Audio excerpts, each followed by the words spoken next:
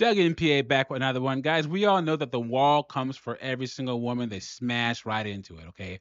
Mother Nature gives them their physical gifts up front, and then Father Time takes them away. Some women are able to duck dodge, dive, and dip and weave away from father time longer than others, like Jennifer Lopez. Because up until a couple of years ago, you could argue that she was still seen as some kind of sex symbol and relevant.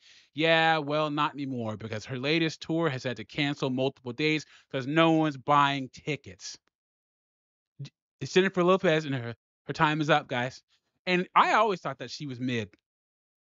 You know, she was a heavier fly girl back in um, the uh, in Living Color days, and her music is literally a product of the late 90s, early 2000s. So this was her when she was younger, and this is her now trying her best with the plastic surgery and stuff to to try to look pretty when she's like 58 years old, guys. Come on, man. So I found this article. It's called "What to Know About Jennifer Lopez's Re- Tour: Rebrand, Canceled Dates, and Low Ticket and Album Sales." Because no one's buying ticket here's the thing men we don't find her uh, attractive and women don't relate to her music so, so she's cooked. We're going to go over this article. Before i do that like the video subscribe to the channel i really appreciate it. It shows you support me and what i'm doing over here. And let's get into this. It says jennifer lopez's upcoming tour has seemingly undergone a rebrand with some online advertisements now referring to her tour as a greatest hits concert series instead of as a promotional endeavor for her latest album, which suffered from low sales. So now she has to do the, the, the greatest hits tour to make any money. It's just like when these female actresses uh, all of a sudden instead of playing the little starlet they, they have to play the mother-in-law and the mom in movies uh, it says the tour scheduled to run from June until August in North America has rebranded as a, a greatest hits tour instead of a promotional run for her latest album. The tour, previously titled This Is Me Live, according to Lopez's social media, post from February now goes by the title This Is Me Live The Greatest Hits. Many tickets are still available for upcoming shows two months after they went on sale, like August 16th and 17th shows at Madison Square Garden.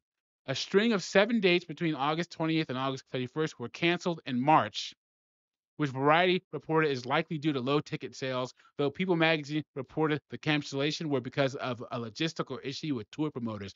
No, women just can't relate to her, her, her music anymore. Men don't find her attractive. Women don't care about her music. She's done for.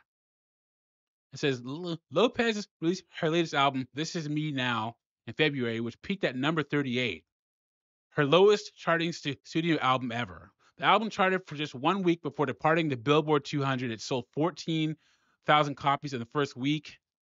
Um, alongside the new album, Lopez released two films, a documentary titled, titled The Greatest Love Story Never Told, which follows Lopez creating the album, and a romantic musical film, This Is Me Now, a Love Story, loosely based on her relationship with Ben Affleck, who co stars in the movie.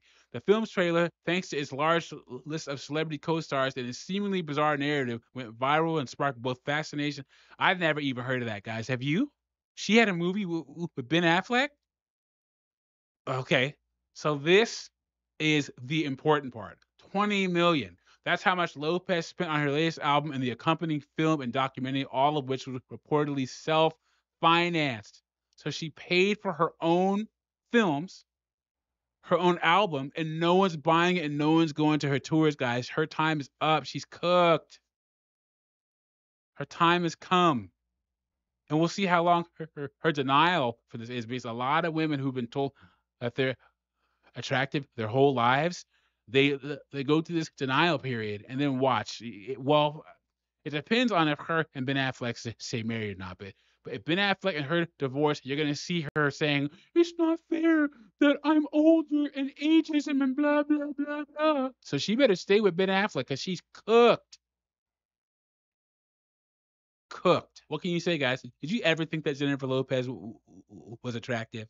And why do you think that no one's going to her tour? Like I said, her music was a product of the, uh, the late '90s, early 2000s and to me it was never any good because according to a documentary I saw about uh, Ashanti, uh, Ashanti recorded the initial version of the songs for artists to listen to when they were pitched to them, and all the songs that were pitched to um, Jennifer Lopez from a certain producer, Ashanti was singing over the track, and they kept her vocals in there to strengthen Jennifer Lopez's voice.